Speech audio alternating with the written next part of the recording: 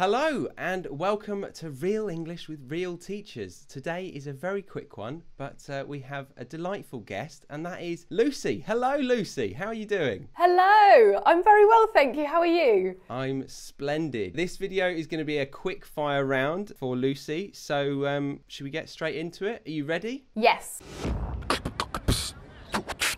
First question Do you prefer texting or talking? Talking. Anyone who texts with me will know.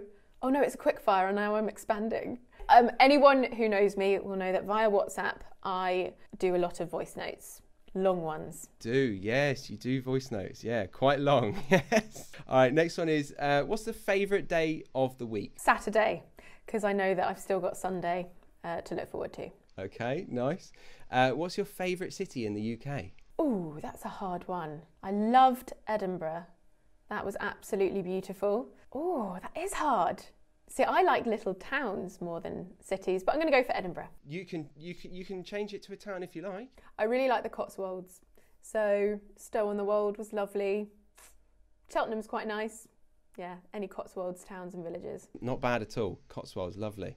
What was your nickname your parents used to call you? Lolly and also Bus uh, because we don't really know why. It just developed over time. Bus. I'll call you Lolly. What was the last song uh, you listened to? This is a bit random. Oh, so I don't really listen to much music, but Will is just constant, uh, and it is one by Dua Lipa. I don't know which one it is, but it's never ending, and I'm constantly asking him to turn it off. Misery guts. I like silence or podcasts, including yours. Oh, cheeky. Very nice. Okay. I like this one. Would you rather be able to speak every language in the world or be able to talk to animals? Oh, that's a hard one. I mean, I would love to talk to animals. I would, but I think he'd be a bit annoying. I think it'd be like walk, walk, snack, treat, walk. I don't think his vocabulary would be that advanced. Um, I probably would say, I think I would say animals, but maybe the dialogue would be quite sad.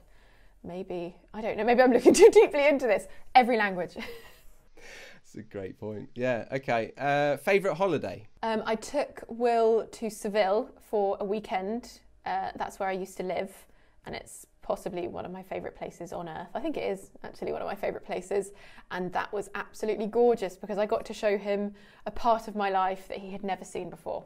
So, Seville is particularly unique within Spain, would you say? Yes. Yeah? How so? Well, I think Spain is, you know, every town there is different, every city is different. It's so rich in culture.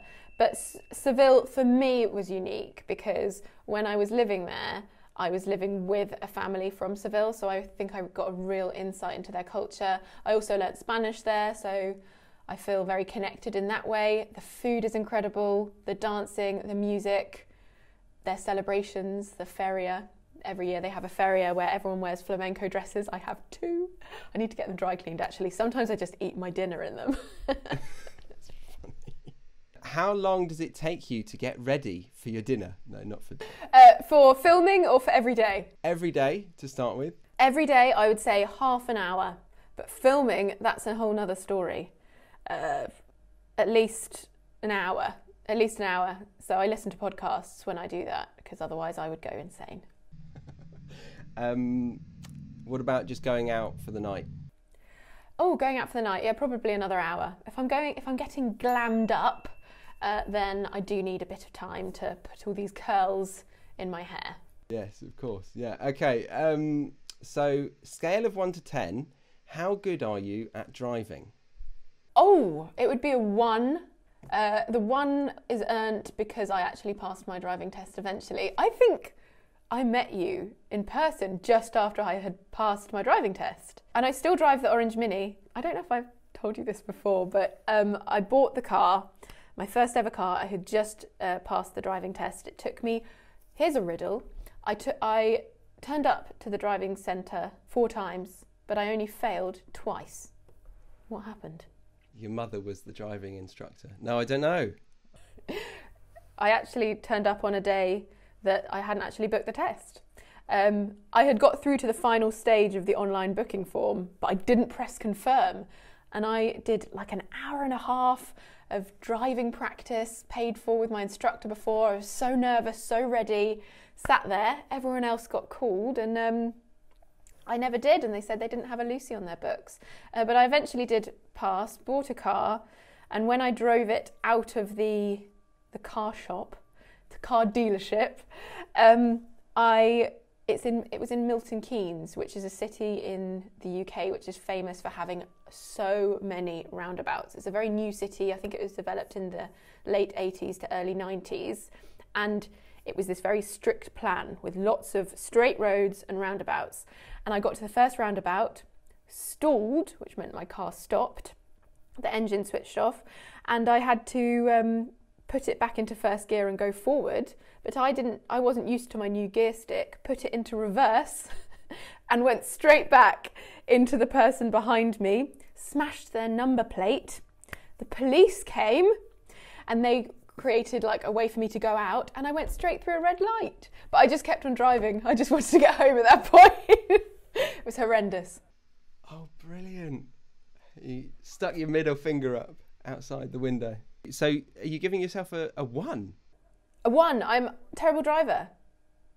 Um, well, I do try, maybe a three. I do try. I'm very friendly when I drive. I live for the thank you.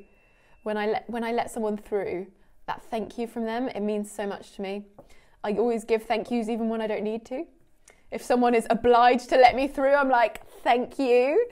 Um, yeah, I'm very courteous, uh, but I'm just I just think I take a little bit longer to work out what to do. And also, I, I struggle with my lefts and rights, so I'm constantly trying to remember who goes first at a roundabout. Yeah. I remember actually with my driving instructor, he was telling me that he had a, another student who was on their 40th attempt of a test and they were still going the wrong way around the roundabout. I can relate slightly. Really?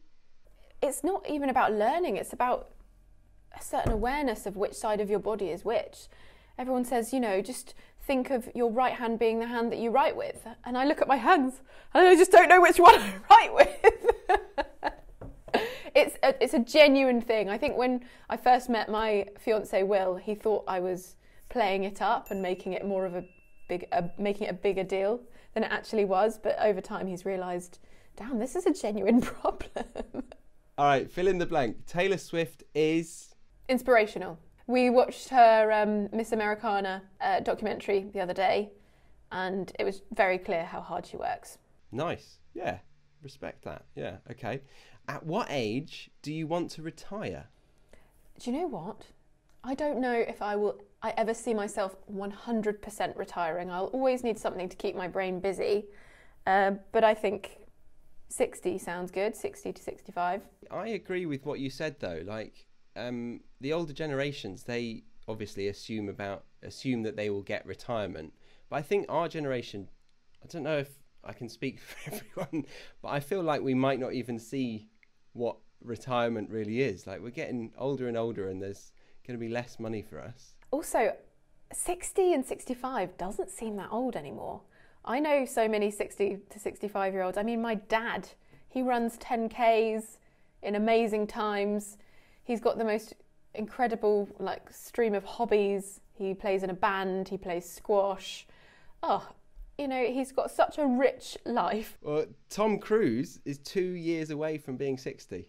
Is he? Uh, he looks great. And I think if you keep yourself healthy and you keep your mind busy and well oiled. And you sign yourself up for Scientology. Yes, very important. Invisibility or super strength? Invisibility, definitely. Definitely. Yeah, it means I wouldn't have to do my makeup. But then you wouldn't have many videos. No, that's true. It might make the editing easier. And is it wrong for a vegetarian to eat animal crackers? I don't even know what animal crackers are. Where did you find these questions? I think that's absolutely fine. I think when it comes to vegetarianism and veganism, I think people should stop being so hard on themselves. Um, I know crackers don't contain any animal products, but honestly, if you make one mistake, it's okay. But okay, so I just googled what animal crackers are. They are uh, crackers in the shape of little animals, like an elephant. so nothing to do with actually eating meat then. Yeah, that's absolutely fine. Absolutely fine. And they can eat fake meat if they want. And if they accidentally mess up and eat something with a bit of meat in it, it's okay. I know so many vegans that have accidentally consumed an animal product and have then felt so guilty that they're not a vegan anymore. You're still a vegan. It's fine. Yeah, give yourselves a break. All right, that's the end of the uh, quick fire round. Thank you, Lucy. Goodbye. Thank you for having me. You're welcome. You're you're welcome. I think I throw you off. I'm gonna keep that.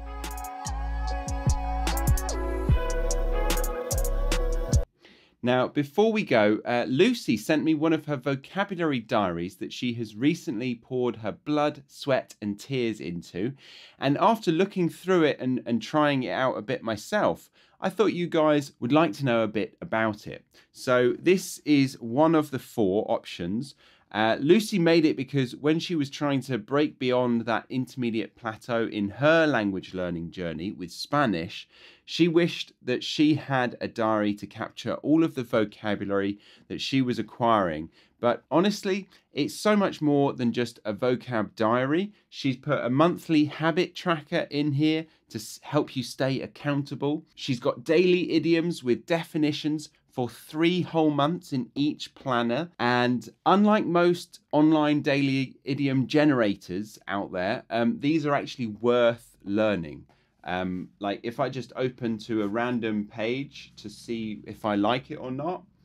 Um, ah, no, that one's not very good actually. No, probably. I'm joking. I'm joking. So this one is to draw the short straw, uh, to be selected to do an undesirable task.